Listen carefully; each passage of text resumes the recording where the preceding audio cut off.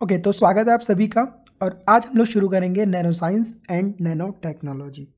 इसमें जितनी भी चीज़ें आती है, सभी चीज़ों को डिस्कस करेंगे शुरुआत से डिस्कस करेंगे, और चीज़ों को आसान रखेंगे। बहुत बड़ी बड़ी चीज़ों को हम लोग बहुत छोटे छोटे एग्जाम्पल्स लेके समझेंगे, और देखा जाए तो ज़ीरो से स्टार्ट करेंगे। किसी को भी या कोई भी बच्चे को कभी ऐसा ही लगेगा कि हम एकदम कहाँ पर आ गए या किस दुनिया में आ गए।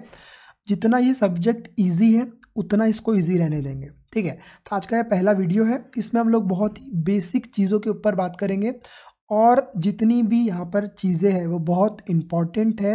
ये बहुत इंपॉर्टेंट बिल्डिंग ब्लॉक्स है nano science and nano technology के। तो आप लोग किसी भी टॉपिक को छोटा मत समझो और कोई भी टॉपिक को बहुत हार्ड और बड़ा समझने की ज़रूरत नहीं है, सभी को हम लोग बहुत ही आसानी से समझते हुए चलेंगे। तो आज का हमारा जो टॉपिक है, वो है टॉप टॉप डाउन अप्रोच और बॉटम अप अप्रोच तो ये क्या होती है? किस तरह से होती है? इन सब चीज़ों को आज हम लोग डिस्कस करेंगे। ठीक है? तो ये एक आप लोगों को डायग्राम दिख रही है। ठीक है? ये बल्क बल्क बल्क पार्टिकल्स है, या बल्क मटेरियल है। उसके बाद ये बल्क प्रिकर्सर है। ठीक है? डरना नहीं है। प्रिकर्सर मैं आपको क्या बोल रहा हूँ? चीज़ों को आसान रखेंगे। बिल्कुल भी नहीं डरना है। प्रिकर्सर लिखा है। तो क्या हुआ? प्रिकर्सर लिखा है तो बल्क ही है। ठीक है? उसके बाद किसी बल्क आइटम को अगर हम लोग क्रश कर रहे हैं बाय मैकेनिकल मेथड्स क्या होते हैं मैकेनिकल मेथड्स उनको भी डिस्कस करेंगे। उसके बाद केमिकल रिएक्शन अगर हम लोग कर रहे हैं किसी आइटम्स को या फिर जो मोलिकुल्स हैं, या फिर आप लोग बोल सकते हो नैनो पार्टिकल्स हैं, ऊपर जब जाते हैं बेटा हम लोग और जब हम लोग नीचे आते हैं, बहुत ही आसान सी बात है, ठीक है? तो इसको क्या करेंगे हम लोग अभी यहाँ पर हाँ तो ये बहुत ही एक हमारे पास पीपीटी है। इस पीपीटी से इस जो डायग्राम है आपको बहुत इजी समझा देंगी। ठीक हो? यहाँ पर क्या लिखा है? क्या लिखा है ये? Top down approach okay bulk particles को हम लोग क्या कर रहे हैं? पाउडर में कन्वर्ट कर रहे हैं। पाउडर में कन्वर्ट करने के बाद क्या हो रहा है? ये नैनो पार्टिकल्स बन जा रहे हैं। जब नैनो पार्टिकल्स बन रहे हैं तो हमारा काम हो गया। इसको हम लोग बोलते हैं बेटा टॉप डाउन अप्रोच ठीक है? Synthesis of nano materials by physical method जो मैं आपको बताने वाला हूँ, कौन से फ़िज़िकल मेथड है? एक एक मेथड को डिस्कस करेंगे बेटा। एक एक मेथड को। उसके बाद उसके बाद क्या? अगर हमारे पास छोटे छोटे आइटम्स हैं, ठीक है?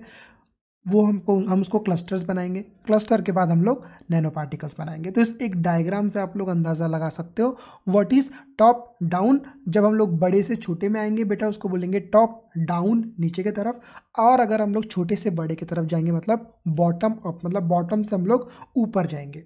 उसके बाद उसके बाद क्या? कि जो फ़िज़िकल मेथड्स है, वो क्या है? एक एक फ़िज़िकल मेथड्स को हम लोग बहुत ही आसान भाषा में समझने वाले हैं।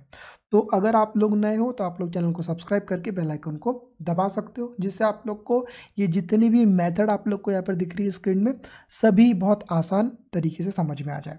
तो फ़िज़िकल मेथड में बहुत सारी मेथड्स है, जिससे हम लोग सिंथेसिस कर सकते हैं नैनो मटीरियल्स का। तो हमारा जो सबसे पहला मेथड है, वो है बेटा बॉल मिलिंग प्रोसेस। उसके बाद इलेक्ट्रिक आर्क डिस्चार्ज मेथड। उसके बाद मैकेनिकल ग्राइंडिंग क्या होता है? इनर्ट गैस कंडेंजेशन बहुत ही आसान आसान भाषा में और बहुत ही आसान आसान टॉपिक को हम लोग आसान तरीके से समझते हुए चलेंगे। उसके बाद आयन इम्प्लीमेंटेशन उसके बाद स्प्रे पायरोलिसिस क्या होता है? स्पूटर डिपोजिशन बहुत इंपॉर्टेंट है, इसको समझेंगे। उसके बाद मॉलिकुलर बीम और उसके बाद ये जो लेज़र की दो प्रोसेस है लेज़र एब्लिवेशन और लेज़र पैरालिसिस इनको भी एक एक वीडियो में समझेंगे, बहुत इंपॉर्टेंट टॉपिक है। उसके बाद पी वी डी को समझेंगे, जिसको हम लोग फ़िज़िकल वेपर डिपोजिशन बच्चे सेकेंड ईयर में आ जाते हैं, उनको ये नहीं पता होता है कि पी वी डी का फुल फॉर्म क्या है। क्यों? क्योंकि क्या होता है, जब आप लोग के एग्ज़ाम्स आते हैं, आप तब पढ़ने बैठते हो। आसानी से जब आप अगर एंटर कर रहे हो सेमेस्टर में स्टार्टिंग से पढ़ते चलो, ये जो टॉपिक्स के वीडियो देख पहले देखा करो वीडियोस एग्ज़ाम के टाइम में वीडियो देखोगे कन्फ्यूज़ हो जाओगे। बहुत सारी चीज़ों को कम समय में जब आप ट्राई करोगे तो कन्फ्यूज़ हो जाओगे। शुरुआत से देखते चलो। उसके बाद जो लिथियोग्राफी प्रोसेस है, इसको भी हम लोग समझेंगे।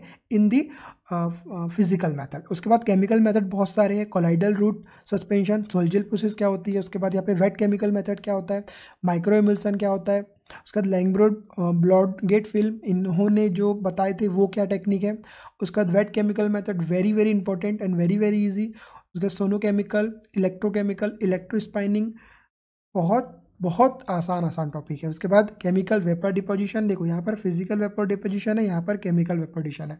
उसके बाद आपका केमिकल बाद डिपोजिशन उसके बाद सेल्फ असेंबली तो इन सभी टॉपिक को एक के बाद, एक के बाद, एक के बाद हम लोग डिस्कस करेंगे। तो इस वीडियो में हम लोगों ने क्या देखा बेटा? हम लोगों ने देखा कि क्या होता है आप लोगों का हाँ क्या होता है आप लोगों का?